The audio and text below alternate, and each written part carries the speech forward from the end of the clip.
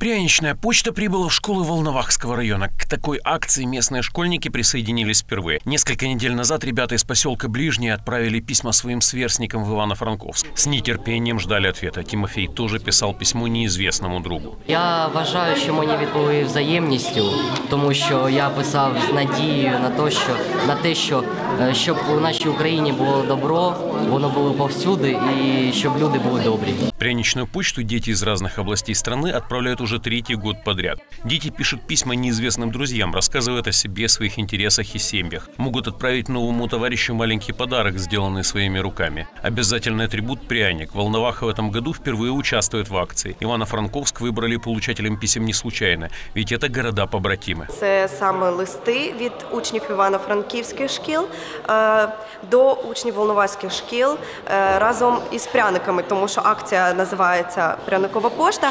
Ця акція була запроваджена е, за ініціативою громадської організації Івано-Франківська е, Країна мрій.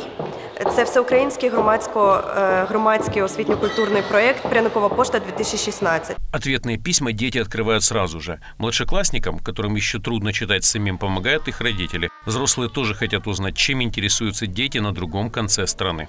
Я бажаю тобі міцного здоров'я, хороших успіхів у навчанні. А треба прочитати листа. Давайте прочитайте, що вам написали ваші однолітки. Відкривайте лист, лист, батьків, тоді вони обов'язково щось куплять. Письма из Волновахи школьники Ивано-Франковска получили всего неделю назад, но дети уже успели сдружиться. Свои личные контакты ребят просили не указывать, но дети сделали по-своему, втайне от учителей.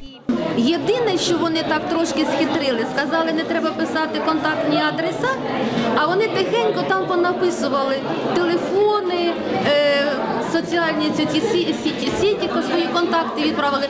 І з таким натхненням прибігали, розповідали, що а мені в контакти зайшли, а мені відповідали на телефон. Вони з таким е, очікуванням, з надією, що вони такі ж самі діти, як і на заході діти. Письма от новых друзей ждут и школьники поселка Донское. Я писала, що хочу знайти нових друзів, і щоб читачки чи- читав цей лист, знайшов мене в соціальних мережах, і ми стали друзями. Дуже цікаво спілкуватися з людиною, яка знаходиться на іншому боці країни. Це ну, дуже позитивне враження. І я вважаю, що мені теж напише людина, яка шукає нових друзів. Теж їй дуже буде дуже цікаво. Я вважаю, що е, людина, яка мені напише з Івано-Франківщини, е, також буде дізнаватися в мене, що про що, які в мене інтереси та про інше. Я, я дуже хочу, щоб ми е, з моїм новим другом стали дуже гарними товаришами і щоб наше знайомство було переросло у велику щиру дружбу. Учителя считают, что такие акции сближают детей Востока и Запада. Планируют провести такую акцию в следующем году.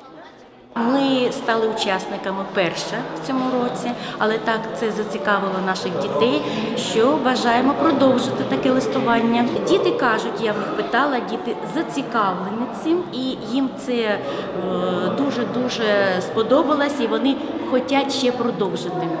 Кажуть, ще таке треба.